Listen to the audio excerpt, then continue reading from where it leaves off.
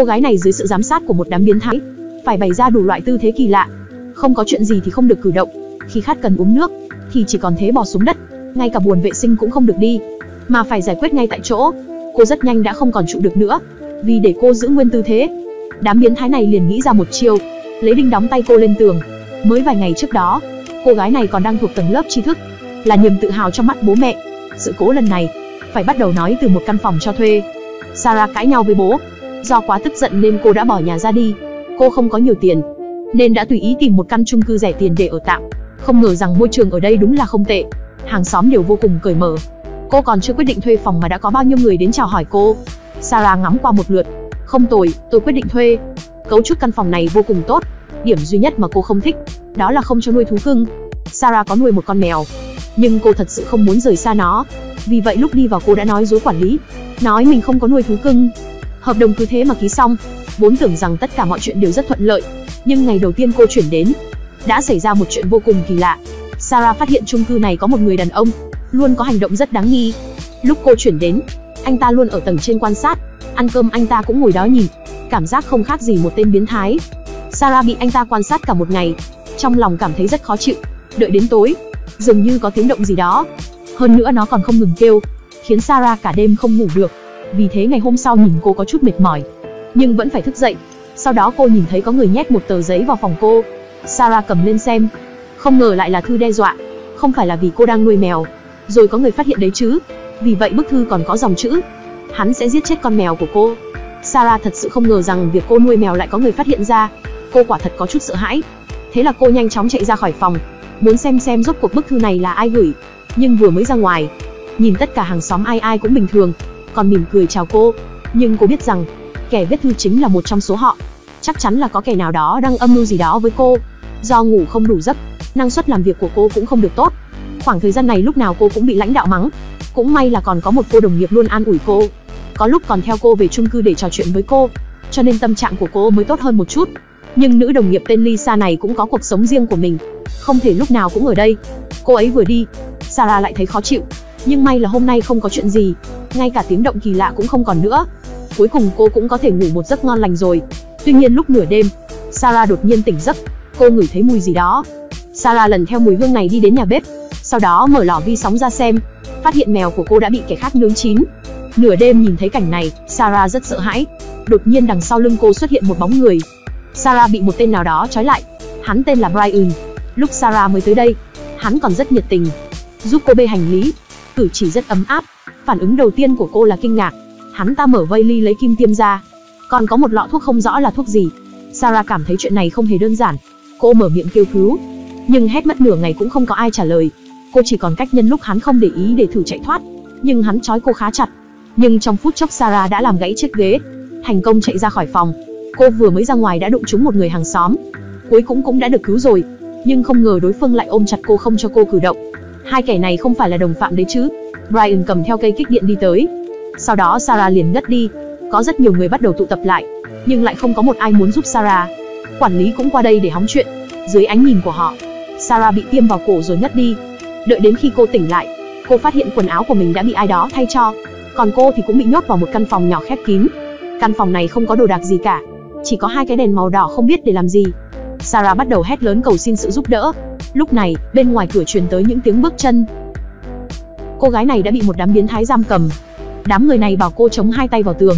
Đối mặt với sự hành hạ này, đương nhiên không phải là do cô ấy muốn vậy rồi. Vì vậy cuối cùng chúng đã lấy đinh đóng tay cô vào tường. Nhưng chuyện đáng sợ hơn vẫn còn ở đằng sau. Vừa nãy khi cô bị hôn mê, chúng đã giúp Sarah xin từ chức, tiêu hủy điện thoại và thẻ ngân hàng. Còn mạo danh cô cắt đứt với bạn bè cô. Vì vậy bây giờ cô chỉ còn có một mình. Sau đó Brian đã bảo cô chống tay vào tường. Nhưng tư thế này có chút xấu hổ. Sarah không muốn làm. Thấy cô phản kháng, tên quản lý liền gọi tên này đến. Hắn vừa bước vào đã cho Sarah xem những vết sẹo của mình, tai và mắt, đều là do hắn ta không nghe lời nên mới bị như vậy. Thấy hắn ta thảm hại như vậy Sarah lúc này đã hoàn toàn buông bỏ. Do quá bất lực nên cô chỉ đành ngoan ngoãn nghe lời. Hai tay lại chống vào tường. Brian nói với cô, bình thường cô phải nhìn hai cái đèn đó. Đèn vẫn còn màu đỏ thì phải giữ nguyên tư thế. Đèn tắt rồi mới được nghỉ. Ở đây lúc nào cũng có camera giám sát 24 trên 24. Nếu cô lười biếng chúng tôi sẽ trừng phạt cô. Sarah thấy tên vừa rồi thảm hại như vậy nên cũng không dám phản kháng. Cô đã kiên trì đứng như vậy được mấy tiếng đồng hồ. Đèn cuối cùng cũng tắt. Bây giờ cô đã được nằm xuống sàn nghỉ ngơi một lúc. Tuy nhiên lúc này, cửa được mở ra.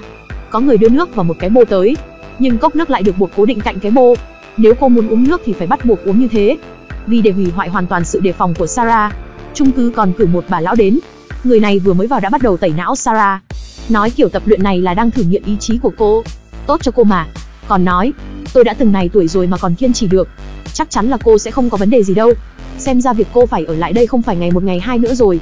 Nghe được những lời này, đã lay động được Sarah lúc nào cũng muốn phản kháng. Mấy ngày sau, căn phòng không ngừng phát ra những tạp âm. Sarah sắp sụp đổ thật rồi. Cuối cùng cô cũng không nhịn được nữa. Đèn còn chưa tắt đã gục xuống. Nhưng cô vừa mới ngã xuống, quản lý cùng Brian đã tiến vào. Cô không nghe lời đúng không? Brian mở hộp dụng cụ ra, từ trong đó lấy ra một cây đinh. Không phải cô không kiên trì được sao?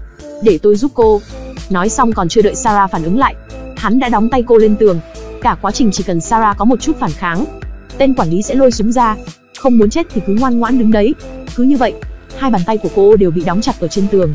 Lần này thật sự là không cử động được nữa. Sự dày vò về cả thể xác lẫn tinh thần trong thời gian dài khiến Sarah sinh ra ảo giác. Chưa quá hai ngày cô đã tự lấy tay mình ra khỏi bức tường. Sau đó liền ngã lăn ra đất rồi hôn mê.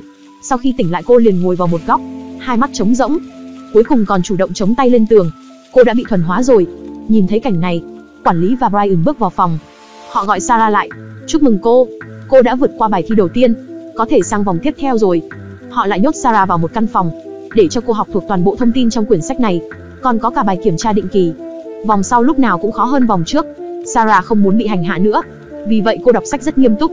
Tất cả cô đã học thuộc lòng và đọc được một cách lưu loát, do cô đã học hết các kiến thức liên quan đến chung cư. Tiếp theo đây cô phải làm việc rồi. Sarah được chia vào tổ giám sát, phụ trách giám sát tất cả mọi người trong chung cư. Một hôm, cô nhìn thấy một bà lão bệnh tim đang tái phát qua camera, thế là cô liền nhanh chóng chạy qua cứu người. May mà đã phát hiện kịp thời. Tuy rằng đã giữ được mạng cho bà ấy, và không lâu sau, tất cả mọi người đều qua đây thăm bà. Sarah còn cảm thấy có chút ấm áp, nhưng phản ứng của Brian lại rất kỳ lạ. Anh ta lại gần bà lão rồi nói lời từ biệt, còn nói mọi người sẽ rất nhớ bà. Bảo bà hãy yên tâm mà ra đi. Sarah cảm thấy chuyện này có vấn đề, còn hỏi Brian rốt cuộc là sao? Bà lão này nhiều tuổi rồi, không thể cống hiến gì cả. Chúng tôi không muốn nuôi những người rảnh rỗi, vì vậy bà ấy bắt buộc phải chết. Bệnh tim tái phát không phải là vừa hay sao? Sarah nghe xong cũng ngẩn người, cô thật sự chỉ muốn cứu người. Nhưng nhìn quản lý đang đứng một bên, cô lại im lặng.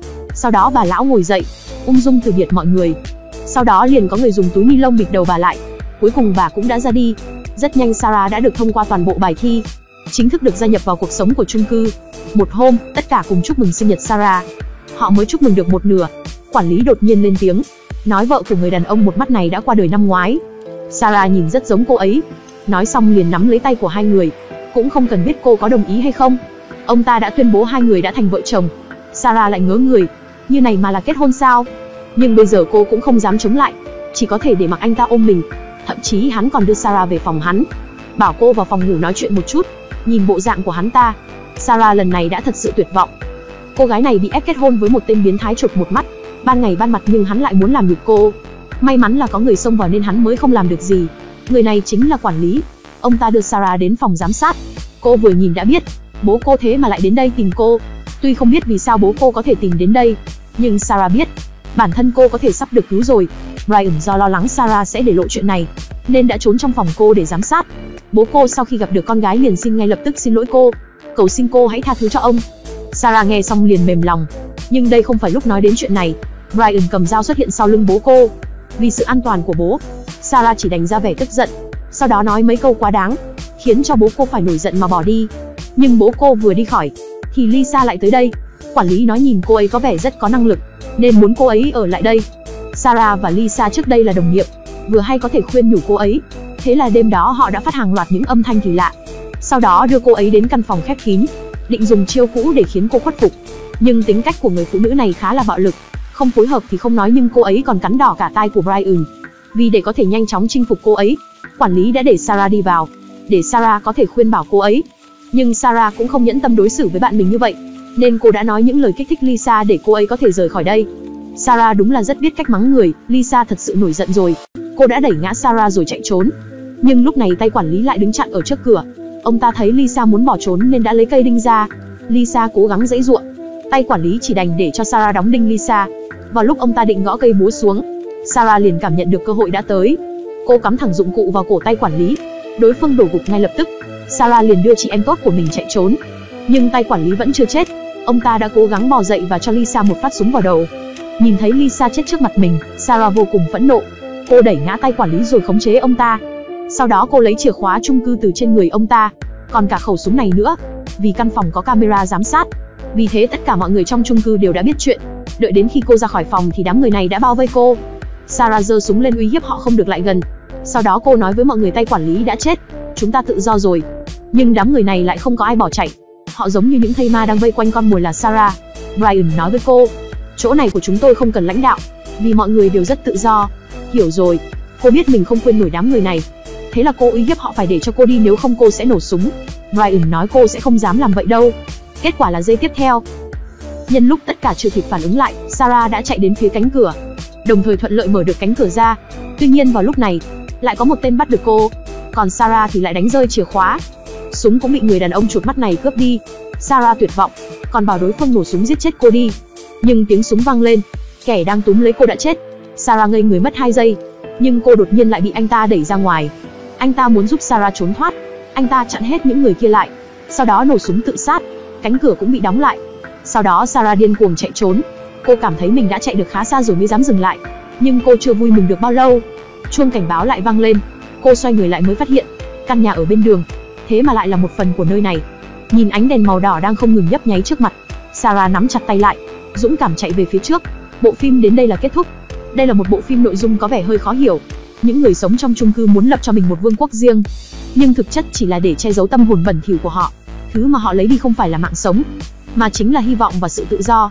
Họ hy vọng mình có thể đồng hóa được tất cả những người khác, thậm chí còn thấy đó là việc nên làm. Điều này đã chứng minh thứ đáng sợ nhất chính là lòng người. Bạn vĩnh viễn không thể biết được dưới một khuôn mặt hiền lành, rốt cuộc đang che giấu bao nhiêu suy nghĩ đáng sợ đâu. Cái kết cũng không có gì để bàn, tất cả đều thỏa đáng. Càng nhấn mạnh vào nội dung của bộ phim hơn, vào lúc Sarah nghĩ rằng mình đã thật sự thoát khỏi căn chung cư địa ngục đó, thì cô lại phát hiện ra nó chỉ vừa mới bắt đầu. Không thể biết được nơi này đâu mới là lối thoát.